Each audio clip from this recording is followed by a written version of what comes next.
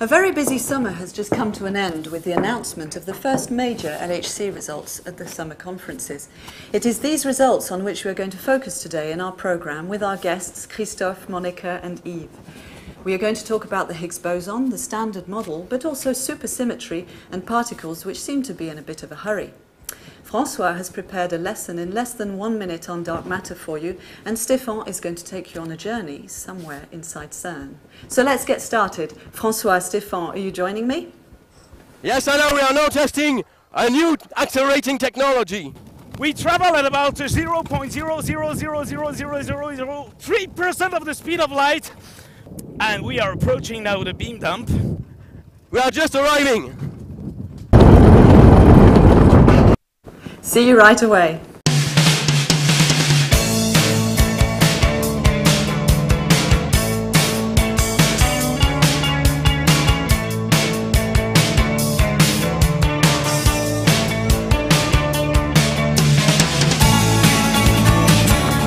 Welcome, Francois. Welcome, Stéphane. Hello, Anna. Welcome to all of you to this first edition of What's New at CERN. So, hello, Christophe, Monica, Yves. uh, Thank you very much for being with us today. So, you are all particle physicists working on the LHC experiments, and the LHC has now been working for a year and a half at unprecedented energy levels.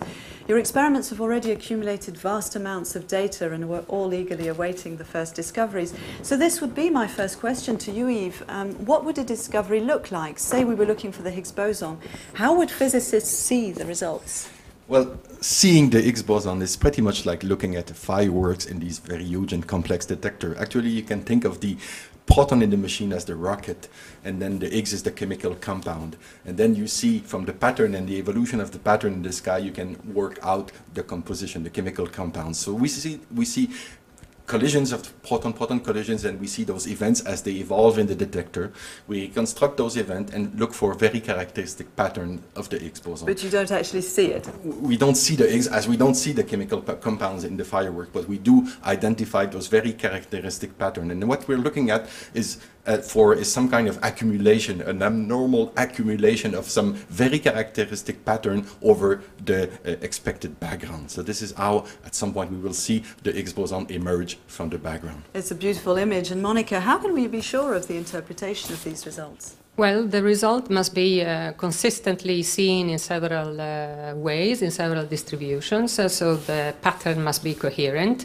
One can use several methods uh, to measure the same thing and make sure that the results are consistent. And uh, one can even use the fact that there are several experiments, for example, in the case of Atlas and CMS, and they can cross check each other to uh, reproduce the result that one of of them has seen. So it's reproduction in the sense of looking Ab- for coherence. absolutely. absolutely. Okay. And Yves, you work on the CMS experiment, whose main quest is the search for the Higgs Higgs boson. Briefly, can you remind us why it's important that we that we find it? Well, the Higgs boson is necessary to preserve the beauty of the theory, the fundamental symmetries of the theory, and it also preserves the theory from going to collapse at the TeV scale, to, to make to make crazy prediction at the TeV scale, like predicting probabilities on, uh, larger than 100% for some collision processes. So we this is the only known way to do that in an exact manner. Are you able to say whether or not it exists yet? We cannot say yet whether the Higgs boson exists. What we have done is we have uh, observed and reconstructed a number of events which have the characteristic pattern of a Higgs boson, but there are also similar kinds of events we expect from the background. So we are looking for more data now to see this accumulation, which we hope to get, for instance, in some of the parameter space, let's say on the mass reconstruction of a specific object. And that is still lacking for the moment statistics. But we have excluded already a large fraction of the parameter space, the Okay. unknown mass parameter, for instance, the mass of the Higgs. We have excluded a large uh, domain already. So we're, this is very Okay. coming very close now. And what would the consequences be if we didn't find it? Well, if we don't find it, actually it's dramatic and very exciting. Both dramatic and very exciting. It's dramatic because we lose that object which allows to preserve the theory. We also lose more than that because if the Higgs does not exist, most likely the minimal, the most beautiful, let's say, version of supersymmetry are gone. So you lose the dark Okay, matter but it's candidate. also exciting. It's exciting because the machine was precisely designed to, to probe the TeV scale, where new physics must appear in order to preserve the theory in absence of the Higgs boson. Okay, thank you very much. Another major area for research in the LHC is dark matter. Francois, I give you 60 seconds. So let's go.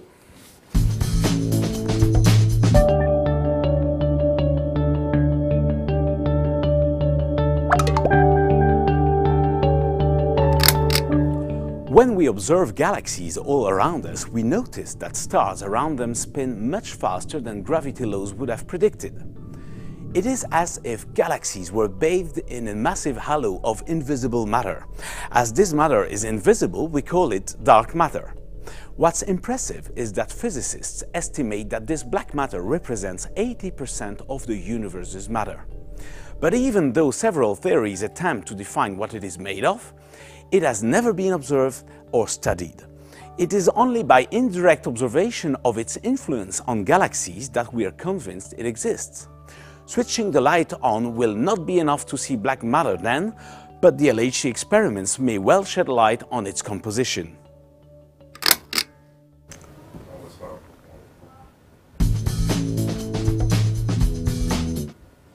So, Christophe, you work on the ATLAS experiment, which, like CMS, is looking for the Higgs boson, but also other particles, some of which are candidates for dark matter. Among these particles are supersymmetric particles. How can you find particles which are impossible to detect? Yes, that's right. So you've heard that supersymmetry, in particular the lighter supersymmetric particle, can be a uh, can, good candidate for dark matter. So this particle is invisible because it doesn't leave any trace in our detector. So you can wonder how can we find it. The reason is that we know how much uh, the LHC puts as energy in the proton-proton collision. So by measuring the energy of all the outgoing particles, we can just account and see whether we measured everything, what's being put in by the LHC what we can see, if there was a dark matter particle, we would be missing some piece. So the dark matter particle would just be going away and taking something off. So by looking for this signature, we could, in principle, do it. So these supersymmetric particles are still hypothetical, and the team went to meet the, the famous, sorry, theoretician John Ellis, who would tell us all about supersymmetry. Supersymmetry is a very beautiful theory that could help solve many of the problems left open by the standard model. Uh, it could help the Higgs do its job of giving particles their masses. Uh, it could help unify the fundamental interactions, could provide the dark matter that astronomers want, and it plays an essential role in string theory. Wonderful theory, but no sign of it so far. Uh, but so far, the experiments have only looked in a small part of the region where supersymmetry might be. Maybe it's somewhere outside that. We'll continue the search. Or maybe it's hiding and showing up in a way different from what we've expected, so we're also looking at that. If we don't find supersymmetric particles, then there's all sorts of uh, other ways, for example, of helping the Higgs do its job. Most of those predict many new additional particles, much like supersymmetry. So I believe that whether we discover supersymmetry or not, there is a potential for a rich new spectrum of particles to be discovered at the LHC.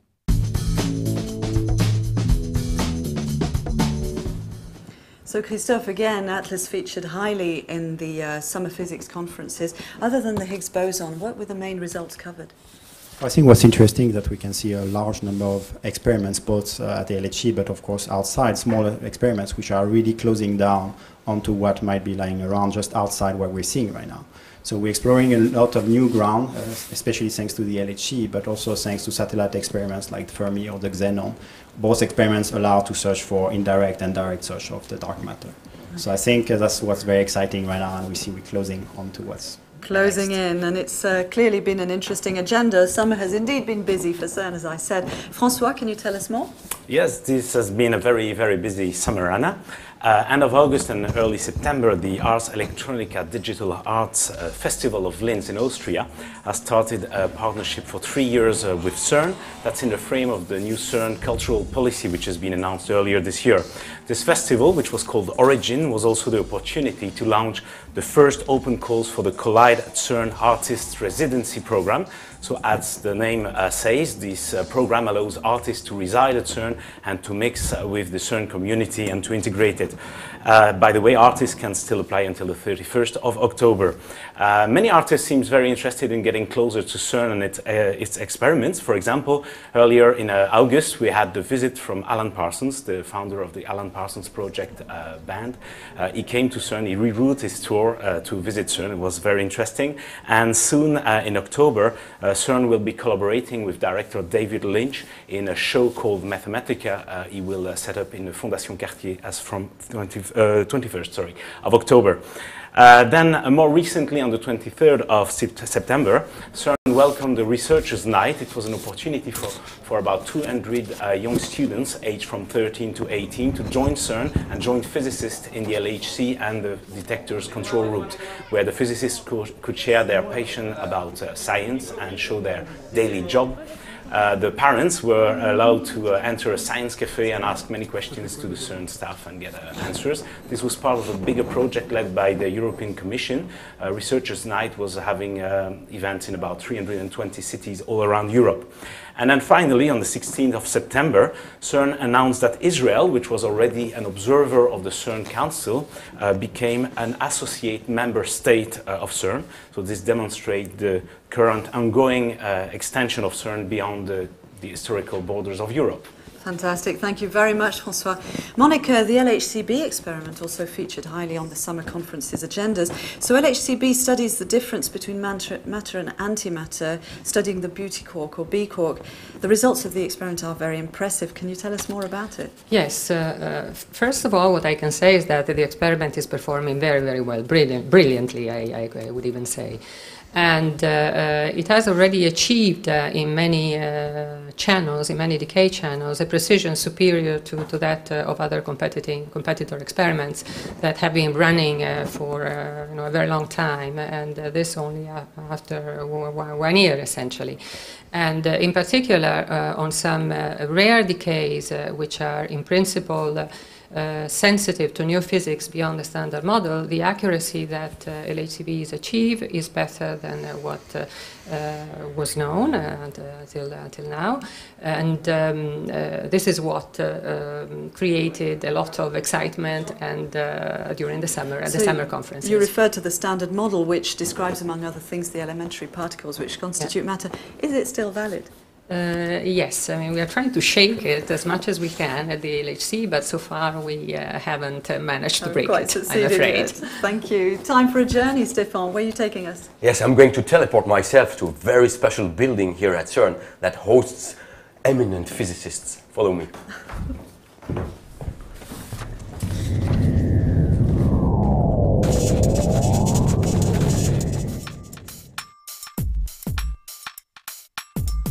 I am at the top of building number 40, a building that was designed by a group of architects from Lausanne in Switzerland and that was built in the 90s. It was built to welcome many physicists coming from all around the world to CERN. In the daylight brought by the roof, right in the center of the building, a very nice cafeteria. Being circular, building 40 has the same shape as particle accelerators. It also symbolizes the openness and the confluence of scientists and ideas on six stories, physics at all levels. Hundreds of desks. It's a beautiful think tank. Many meeting rooms. At this time, it's the Muon Analysis Task Force. Two levels underground with conference rooms.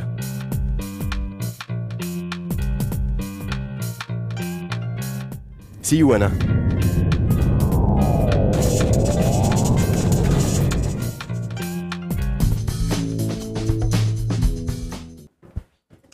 Welcome back. Thank you very much. I think I saw your offices there in this uh, building. Am I right? yes, it's a nice place. Yeah. So, Stéphane, media coverage of CERN is frequent. The latest big news on 23rd of September was this extraordinary claim that measurements have been made showing that particles may go faster than the speed of light. Mm-hmm. And uh, for, for once, neutrinos that are untraceable particles uh, were visible to everybody.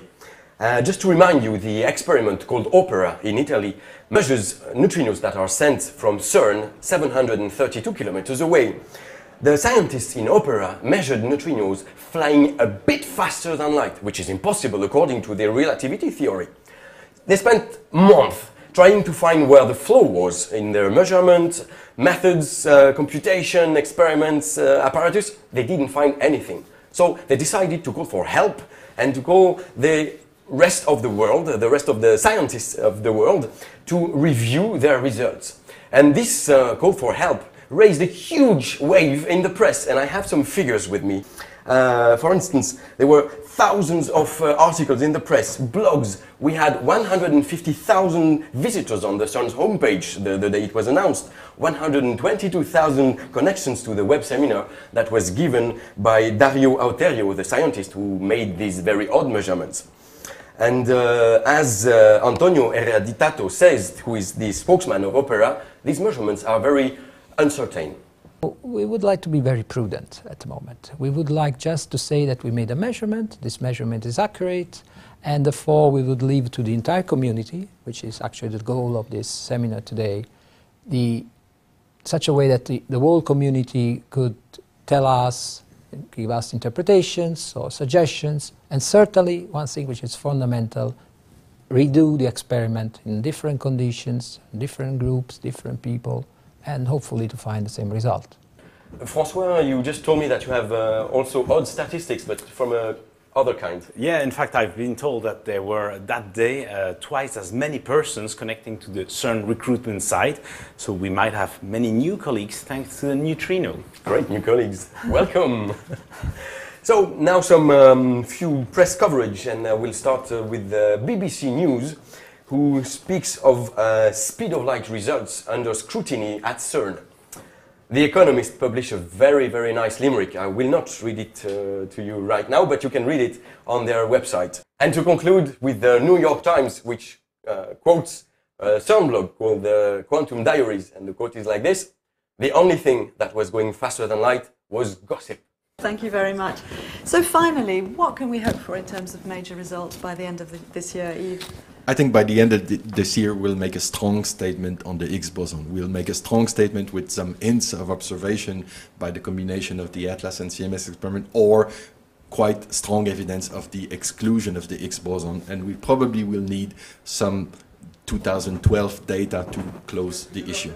LHCb is a precision experiment, so we will continue to make precise measurement and improve our accuracy and uh, uh, increase uh, the number of channels uh, that we are studying, and uh, something uh, exotic may appear anytime. Who knows? We hope. Christophe. Well, now we have uh, already recorded four times more data than we had already during the summer. So you can imagine we are, especially for supersymmetry, but maybe all other theories, we are, we are really uh, excited to look at this new data. There's plenty to look forward to. Thank you very much for being with us today. Thank you, Stéphane. Thank you, Francois. Thank you for watching. If you want to see this program again, it will be available on CDS and YouTube.